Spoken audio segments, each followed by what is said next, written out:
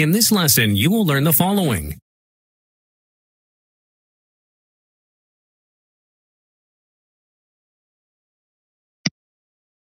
This lesson is based on the following business scenario.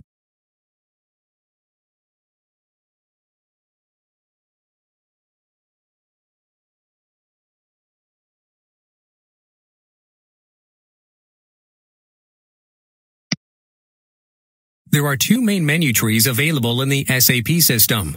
The standard SAP menu and the custom user menu.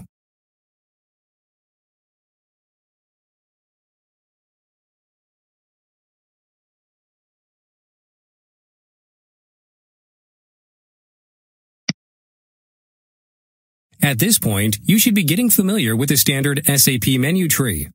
In addition to the SAP menu tree, you also have a specific user tree which is set up just for your user ID.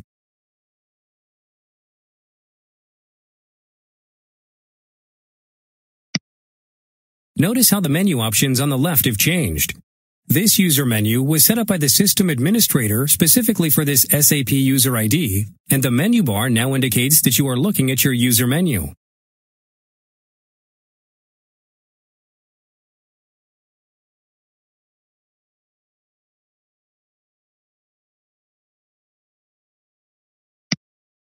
Now you are back to the SAP menu. In addition to the standard SAP menu tree and the user menu, you can set up your own favorites menu. Notice the highlighted area to the left.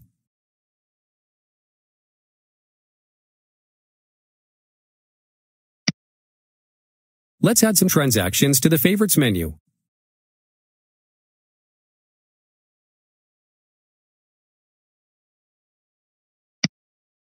Now open financial accounting.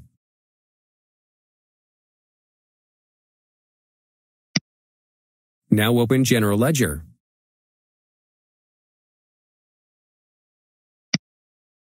Now go to Posting.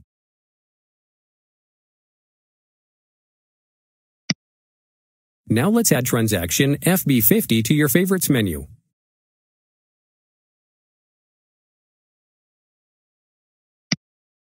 Now click the highlighted button Add to Favorites on top to add the selected transaction to your favorites menu. Notice how SAP has added the selected transaction to your favorites menu. You can now access transaction FB50 from your favorites instead of going through the standard SAP menu. Now click Add to Favorites on top to add the selected transaction to your favorites. Good job! Now let's remove the first entry from our favorites menu.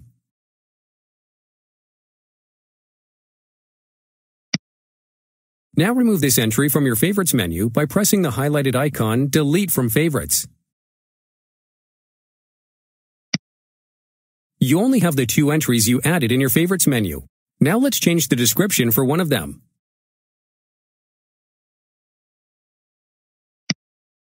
Let's change the standard SAP description to something a bit easier. Click on the text field.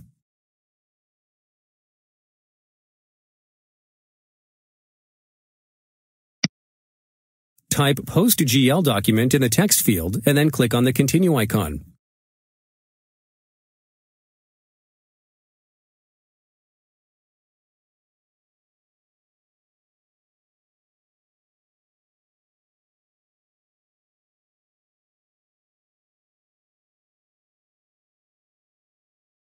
Excellent. Now the transaction shows your description instead of the standard SAP text.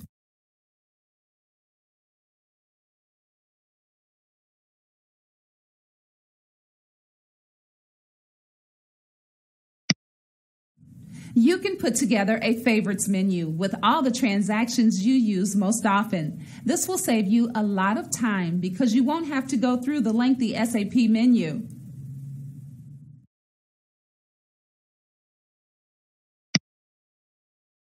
Now click on the User Profile option.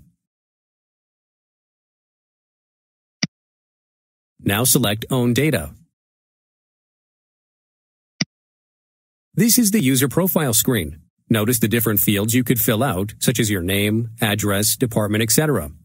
This information can be reviewed by other SAP users if they need to find your office location or your phone number, etc.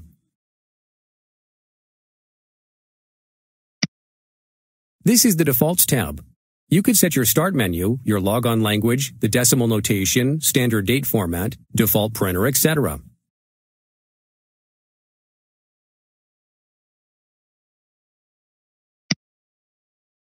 Notice the current date format.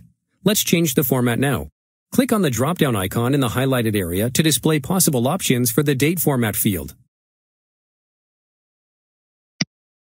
Select the highlighted option. Well done. Now we need to save our changes. We're all done. Notice the success message at the very bottom of your SAP screen.